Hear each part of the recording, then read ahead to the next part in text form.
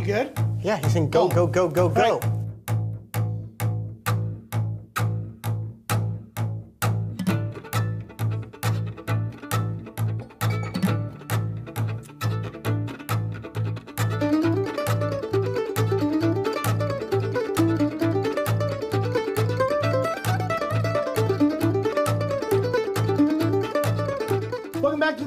Shop channel. I am John, here with Jeremy doing a very special unboxing. You know why? Because that's what we do. It is something big. This is the ultimate Tony Rice guitar clone shootout. Of the things that, uh, when I finally saw the picture, that I was most impressed with, this sunburst. This looks original, it looks right. If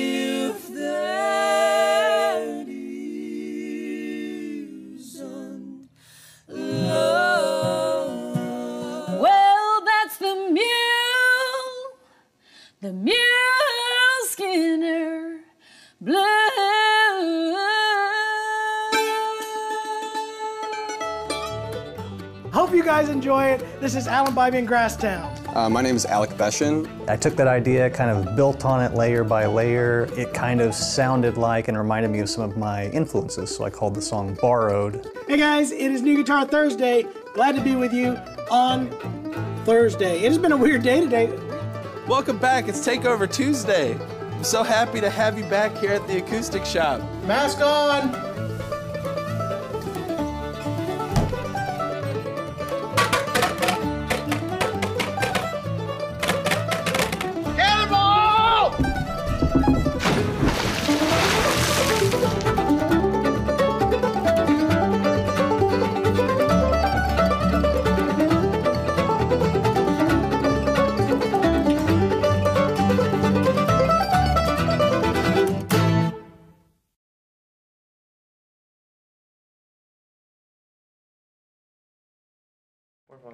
Hi guys, how you doing?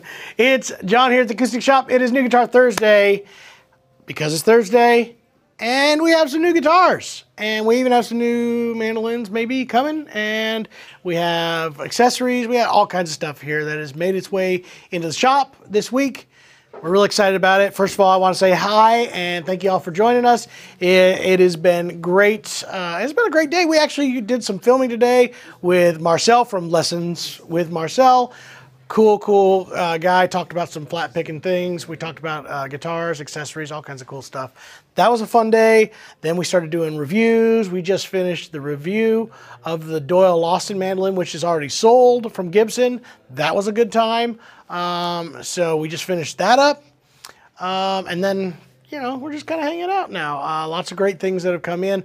Again, uh, Hinkley's over here right now monitoring everything, checking everything out. So if you got any comments or questions, make sure to put those in there. If you got any questions or things that you'd like to see, uh, I'd love to hear from y'all. So let's do that. And uh, we'll walk around the store today and see what's all here. I know we have two Atkins. I'm going to go through those. The uh, Elliott Capos are in. Lots of great stuff has made its way into the shop.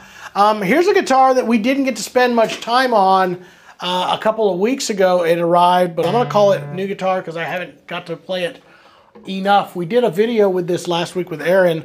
This is the Bourgeois Championship model. This was uh, a guitar that I worked with Dana and the team while we were up there uh, which was awesome. Went up to uh, uh, where is it in Maine? I can't. Lewiston, Maine. That's where it is. And uh, we started working on tops, talked about their voicing, and, and then came up with some ideas. This is the championship. The championship is a sinker mahogany back and sides, which we selected. It's kind of a little funny. If you look at the photos on our website, you'll see it all doesn't quite look like this because he flipped it over. We did an original uh, tracing and then, uh, I don't know, the team or Dana, somebody decided to flip it so it's actually the opposite direction. But still the same piece. Tortoise bound with a really cool purfling line. Uh, this, you guys know how much I love uh, the purfling lines. Uh, this one has that same one that we've done on the Thompsons, uh, which has the line that goes all the way up through the peg head. And this one's actually bound with purfling, I think. Isn't that a binding? No, I guess it's not. It's just an overlay. Um, but it has that purfling line going through. Looks like Madagascar or Brazilian uh, on that. But here's where this one got a little bit different. This was my custom edition of the championship in that We double scallop the braces on this one. So this one does have Banjo Killer bracing. It also has a slot through saddle and it has hide glue addy bracing. Um, so this is a killer guitar.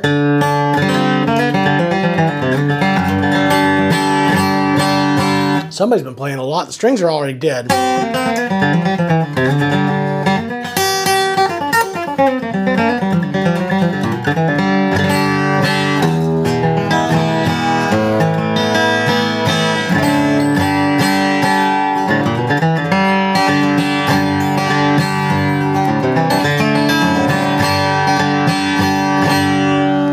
Punchy, super resonant, has all that stuff that you'd expect out of the Sinker Mahogany and a Bourgeois guitar all in one. Waverly tuners, I love the 30 style Waverlys. And again, we went traditional with the slot through saddle. Uh, we figure if we're going to do a Sinker Mahogany championship banjo killer, let's go all the way. So we did, and uh, that's how it turned out. Super special guitar. I'm really proud of this one. Sounds fantastic. And again, available. It will be available with uh, fresh strings too, which is uh, I'm pretty excited about that. So we did get in another Touchstone OM. Uh, so we have a couple of those on the Touchstone Vintage, sorry, OM. Uh, those are now available on the website. So we have both dreads and OMs available back in stock right now. If you have not played one of the uh, Touchstone uh, vintage OMs uh, or the dreads, they're fantastic. I definitely recommend those, and they are at a great price point as well. Gibson mandolins made their way back in and also have been making their way back out. We got in a few more of the uh, Acoustic Shoppe exclusive versions of the F9. I think, oh, this one's one of them. Look at that 3D back right there. Um, so we've got a few of those in right now.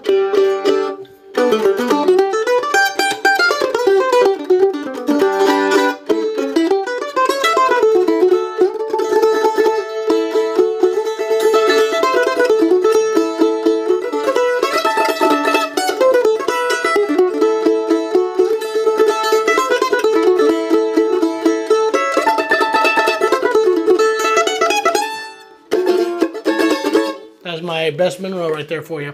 Anyway, F9s are back in stock. We had a bunch of others, including a custom shop F5G and some other uh, Doyle Lawson model. It's already gone. But look at this. I played this last night. I love this. We got two standard F5Gs. By the way, news is out, so I'm going to go ahead and tell you. If you are interested in a Gibson mandolin, you all know that the orders were shut down last year. We couldn't order any new ones at all. Um, so everything that we keep seeing coming in here is stuff that we've had on order for close to two years and slowly working its way through the shop. All of those mandolins are coming in. I just got a call. I think that there's another one on its way uh, of one of the last batches of this. Here's what's happening. They reopened orders, but there's only two models available coming for 2023. We've got some of those on order, actually quite a few of them on order. But if you're looking for current models that are here uh, right now, these are the end of them. As they arrive, this will be the last. So this is the end, I believe, of our F5 uh, Gs that will be available. And look at this one. This is just a stunning. I love this mandolin. Um, and they will no longer, there's an F5G that will be available next year. It will not be like this, and it will be at a higher price point. Um, but they are.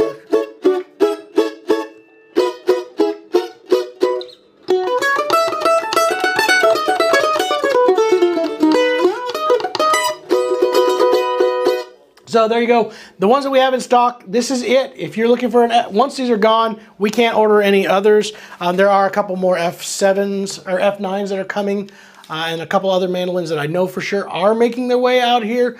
But once we're done with our orders, that's the end. Yes, Hinkley, what can I Somebody answer? How does the Eastman E10D compare to the D18 Golden Era? They're looking to get a good mahogany dread, but not break the bank. Okay, somebody's asking about the comparison of an E10D to an E uh, or a D18 Golden Era. We've done this video. Tons of people have done this video. Jeremy owns a D18 Golden Era that I played quite often, and I own an E10D.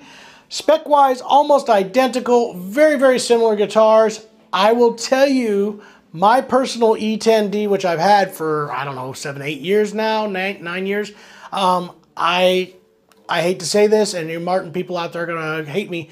I will I will absolutely stack my E10D up against anybody's Golden Era, and I will almost bet it will come out on top. It is a fantastic guitar.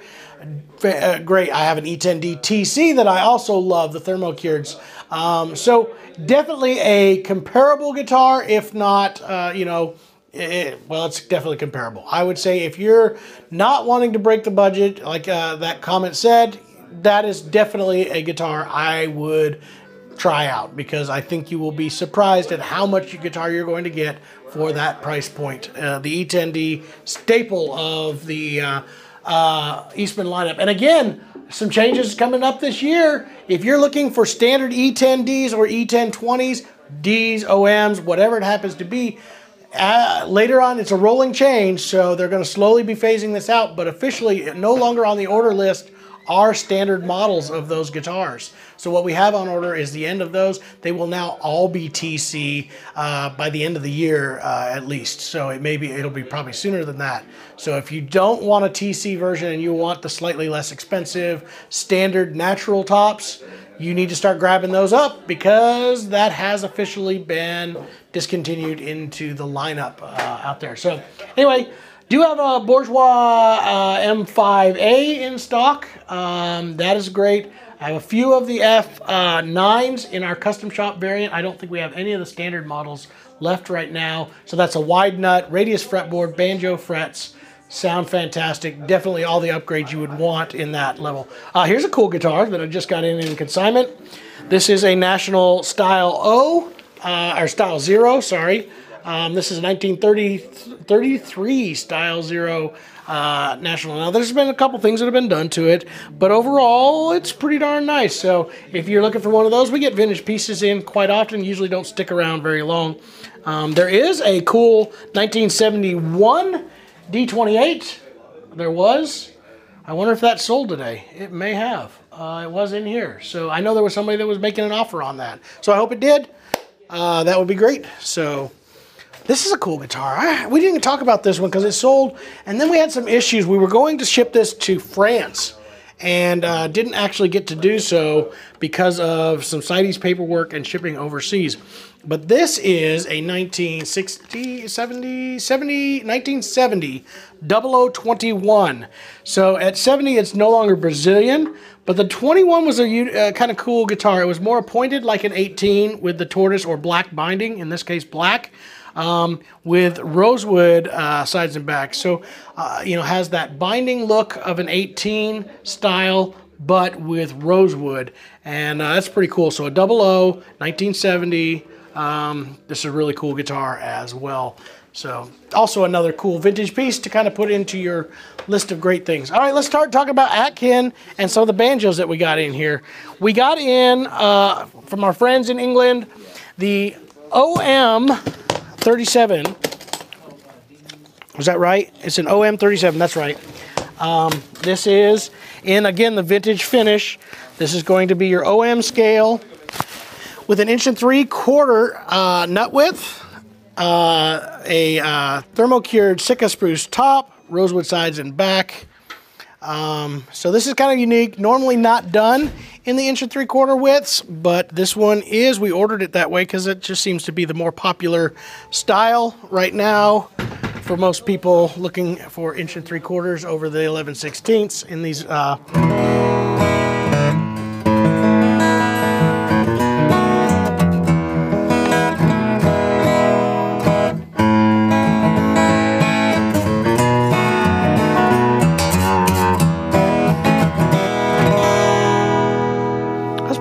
fantastic guitar. It's the first time I got to play it.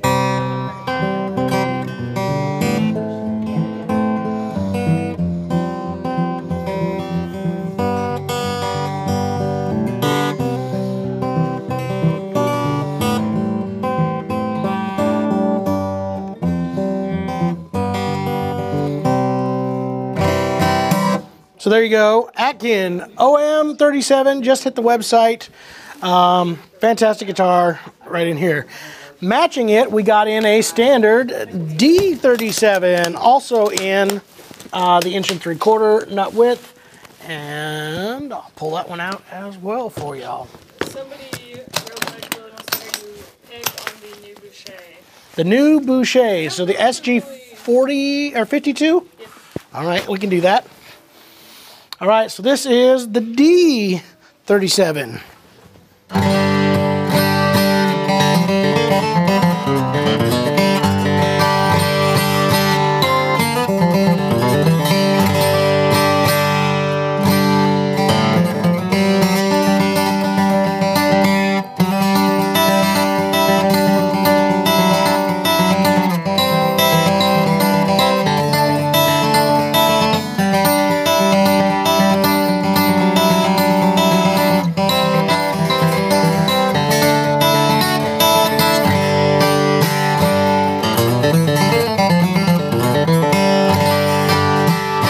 Played this on the show yesterday. Again, a big, booming, monstrous sound, as all the Atkins tend to be.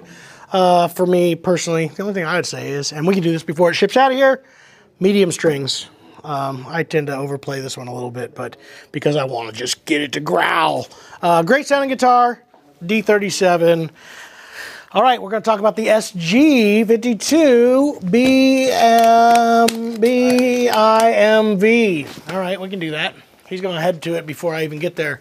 This is kind of a special guitar and one done that I had not originally ordered, but they kind of wanted to uh, show it off. And they said, what better place than the Acoustic Shoppe? So this is a studio goose. The difference between a studio goose and a bluegrass goose is one slightly smaller sound hole. I think it's standard sized. It is braced and voiced more for light gauge setup. So this has a light gauge setup on it. This does have the inch and three quarter nut width. A much more modern profile than that uh, Atkin we did. But this has the vintage pack, that's that last V. So it gets a square peg head, thermo-cured Addy top. It is an M for master grade, so it has the inlay here, which, no it doesn't. It doesn't have a B. Uh, it does just a master grade top. And then intimate pack, meaning that it has a pickup, uh, K and K pickup in it, and then the burst pack all in one. Yes, Hinkley. So, all the guitar manufacturers out there, why Atkin? How did you come across Atkin? We can cover that. Atkin, why Atkin? Uh, Atkin has been cool. I've been talking to this guy and a friend of mine who had been checking out his guitars. I saw a couple of the white rice models. I thought they were great. But then I got to know a friend of his uh, really, really well, who actually is tied in with the Eastman Company. Then I met Alister Atkin in uh, California at the NAMM show. We looked at the guitars. The more I kept paying attention, the more I wanted to do it. The cool thing about Atkin guitars is one, super cool vintage vibe, um, great quality build. Um, it's coming out of England, so it's not a Chinese build, but yet prices are uh, affordable for the boutique world. Definitely, probably capturing more of a vintage vibe and sound, and I think it's part of that European connection. Europeans love vintage uh, American music. It seems to be, uh, you know, as much or more than some of us do. Especially these guitars that are classic feel, and they kind of get that feel and vibe. Now, there's some modern technique stuff in there, such as the bolt-on neck uh, and a few things that he's done in touches, but the finish and all that stuff, trying to really capture that vintage sound. So there's why we got into Atkin. Great guy, great builder. Um, and we just love, we just really do love uh, acoustic instruments to the point where we're just always looking for uh, more cool ideas and cool people to work with. And Atkin has definitely been one of those to, to, to do so with. So when I see something I absolutely love, that's when it usually makes its way into the shop. So that goes with this too, Boucher. This is that B I M B I M V. Um, great guitar.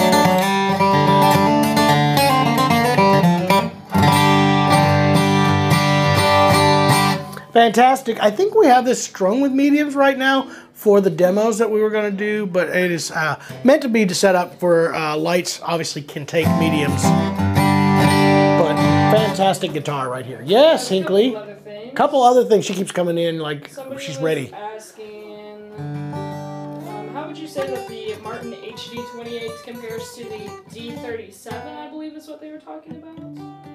HD 28 to a D37 or a D35 maybe. They said HD28 to the. Uh, Oh, Atkin. eh, there you go. Uh, to the D37 Atkin. All right. How does the Martin HD28 compare to the D37 Atkin? There's a lot of upgrades from a standard Martin uh, D28 that is happening, or HD28 right there. One, it is a super thin vintage version of the nitrocellulose lacquer. Two, it is a thermo-cured Sitka spruce top, uh, where the uh, HD28 is just a standard one normally, unless you do the VTS. Uh, so that's an add-on.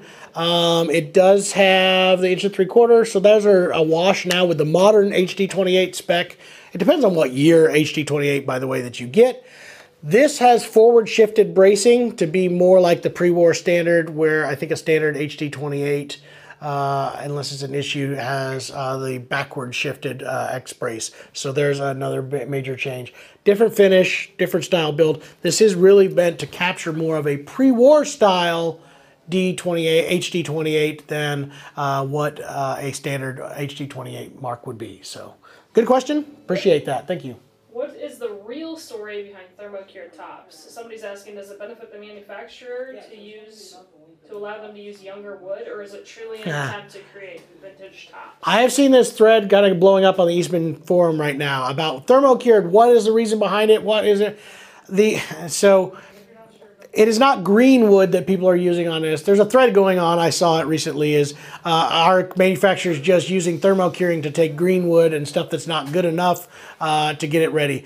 No, they are not doing that at all. Um, the real reason torrification became an issue or thermocuring became an issue, it does something completely unique to the guitar. They're taking these instruments, they're baking them in a vacuum sealed, high temperature kiln, and what they're doing is baking out all the impurities. It actually collapses the cell wall of those guitars, and it does exactly what 25 or 30 years of drying will do. No kiln, no uh, kiln drying uh, woods or even 10 year old, 5 year old woods, 3 year old woods, whatever it is they're using to build guitars are going to be able to do that. Now, a secondary thing that has happened because of the shorter supply of this, they have been able to take woods that haven't been sitting out and air dried for quite as long, not green, but uh, definitely these are still kiln dried, normal woods, but that aging process that normally goes into into uh, guitar building has been able to be sped up by using thermocured with some manufacturers, and that's where the advantage has been kind of coming in. So yes, it does absolutely change the tone. This dries out a guitar more so than any uh, thing out there, and then lately there's been some like advantages for some of the manufacturers to kind of get a jump start on uh, the the build process, which actually has been beneficial, but. Way before that, everybody was into this because it does give you a more vintage like sound and feel to these guitars. Atkin Herringbone versus Martin D28 price comparison. I don't know where the H- March D HD28 is right now. I want to say that guitar's in the mid four. I'm going to say they're going to be very comparable uh, price wise. I'm not positive on that. I will have to uh, check on that. I think we have officially got those guitars online, so we should be able to get a price on those, correct? If somebody can look it up for me, that'd be great. I think those are online right now, both of the Atkins. Um, I don't know what an HD28 is specking at right now. We are not a uh, Martin dealer. Um, here's what I will tell you uh, without risking to be uh, anything blasphemous. You will not be disappointed in that Atkin. It is built to be more like a pre-war open style version of the HD28, where HD28 is a fantastic guitar. This is a boutique level guitar. We're now talking about another step up above from a standard uh, guitar line, whether it be Martin, Taylor, or whoever else. What strings and gauge are on the Bourgeois Championship tread?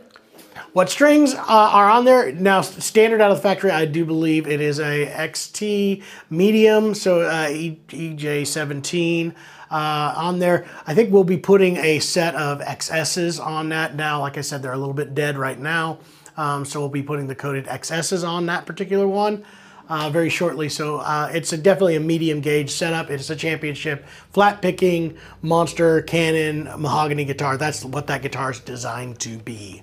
So there you go. That's uh, string gauges for that. All right, let's talk about other things that came in. One thing that's on its way, and I'm surprised hasn't arrived yet. We have a shipment of mandolins from Eastman that is coming. There's probably about 25 mandolins that I saw on that list. A couple of guitar things as well. You guys saw on Tuesday the PCH 2s are going to be available very shortly, which is the new uh, reintroduction of that. I'm pretty excited about those coming out. We have a couple of other surprise guitars that are coming very, very shortly. Uh, we have the black top cedars uh, that are in from Eastman right now, the E2s. Uh, right now with the um, tortoise pickguard, somebody asked on one of our videos whether or not they had the black pickguards. The black pickguards are on their way, so we will be seeing those hopefully very soon. We got to shoot video content for those, uh, so be looking for those. All right, banjos. Got in some new gold tone banjos last week. We talked with Aaron. We shot video. Um, we got in an OB3, which is the twanger from Gold Tone. This is a great banjo. This is styled after the the banger, uh, which was J.D. Crowe's banjo, uh, RB75 style. So this is a mahogany resonator, mahogany neck, uh, in that standard uh, inlay. Snuffy Smith bridge. It does say master tone on these now. Again, another great banjo in the RB3 style. So this one, I'll give you a quick little run of this so you can hear some noise. And, uh, and that's exactly what it'll end up being. It's getting, there's lots of good questions out there today, so I'm, I'm pretty excited about this. And then we'll talk about what's left of the.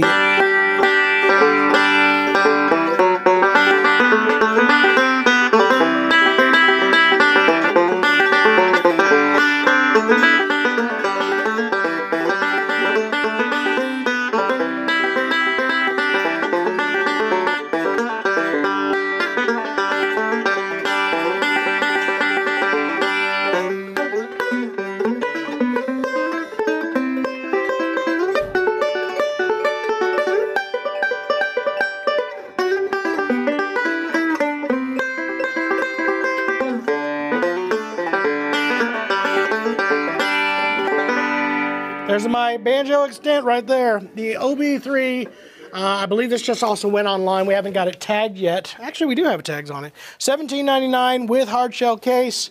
Um, another great banjo. Got in another super cool banjo, and uh, I know there's argument as to how long this is going to stay. We got, may or may not have a staff member who's pretty interested in this banjo. So, You said something pretty Yes. They said it's interesting that master tone is not a trademark. So here's what happened with the Mastertone trademark. Somebody's asking about how did Mastertone be able to be marked again. Gibson let their uh, patent expire, their trademark expire, and for some reason I don't know why, uh, but uh, Gold Tone saw this as an opportunity and bought the trademark. So uh, yeah, I guess Gibson, you snooze, you lose. I guess I don't know what's the way, best way uh, to describe that, but that is uh, actual fact. Um, it was a a Gibson trademark, uh, and then they just did not uh, renew it, and it became available. I mean, I it makes sense. I would do that. All right, here's another one that we reordered, a little bit different. Uh, this is the Bela Fleck uh, Bluegrass Heart Banjo. Now, this time, no heart inlays. So, in the traditional uh, RB75, uh, RB3, sorry, uh, in the Flying Eagle pattern. Now, this has all the same features as the other one, except we did no hearts. We did um, a brass buttons on the Rickard tuners, uh, and we have that uh, radius fretboard.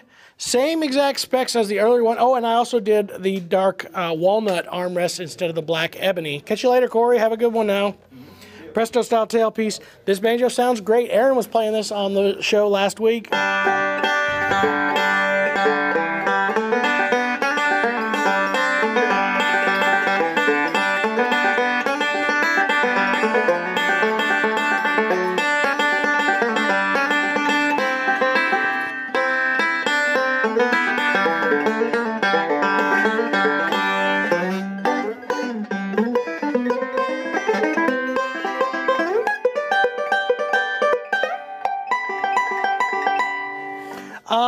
Another great sounding banjo. Uh, tends to be a, tends to be a little bit brighter than the last one we had, but I don't know if that's necessarily a bad thing. I think it's got a lot of punch. Comes in the super cool case uh, and a uh, also the Fleck Tune tuner. Uh, there you go. So uh, that just came in as well. Should be online, and if you hurry up, you can beat our staff member who's thinking about getting one. Again, snooze you lose. Anyways, so there you go, the My Bluegrass Heart Gold Tone. Now, last thing that we got came in this week. There's a lot of things that we got that came in, but one of the big ones that I want to cover because, man, have we gone through a lot of them. It's been Elliott Capos. I'm going to grab a couple of those. Can you grab me a couple of boxes of the Elliott Capos? Yeah, there's Are two right open? there. All right, here we go. So we got in a bunch of them. We got in some with abalone dots, uh, customized, but we got in 60 some odd capos. This is one of the McKinney's. Uh, looks like this one is in a 16, so 11 sixteenths. Um, these are fantastic capos. We got in 60, I think, something of, the, of that nature. In the last 24 hours, we have sold over 20 of them, so I don't think they're going to last very long at all. If you are thinking about getting one, grab one. Now, here's the deal the radiuses are marked on this, like this is a G16E, an Elite with an 11 16ths, 16 inch radius. Find the neck width you want. So, if it's a G, it's gonna, that's for a guitar. The next number, the 3 4 or 7 8 or 16. 16's for inch and 11 sixteenths. 3 4 is an inch and 3 fourths. The uh, 7 8 is an inch and 7 eighths inch uh, nut, nut width. So depending on what guitar you have, that would be there. Then you get your style. The E is the Elite style. The M is the McKinney. I Integrity. I, I've got various different ones. Depends on the style of that capo that you would want. And then last one is the radius. Depending on what guitar you got, most Martins are going to be 16 inch radius. The Eastmans are going to be 12 inch radius. Um, the uh, Bourgeois are 14s, so that gives you an in between because it's a compound radius.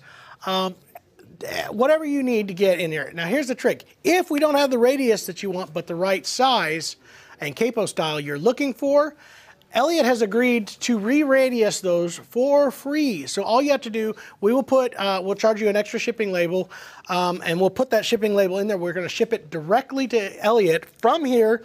They will re-radius it and then ship it directly to you, the customer. So all you have to do is tell the guys uh, on the phone. Again, all you got to do is call uh, phone number here again 417-720-1223.